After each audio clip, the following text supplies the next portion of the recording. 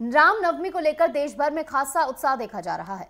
वहीं मुख्यमंत्री योगी आदित्यनाथ ने गोरखपुर मंदिर में हवन किया। इस दौरान उन्होंने देश प्रदेश की खुशहाली की कामना की, साथ ही सभी प्रदेशवासियों को रामनवमी की बधाई भी दी।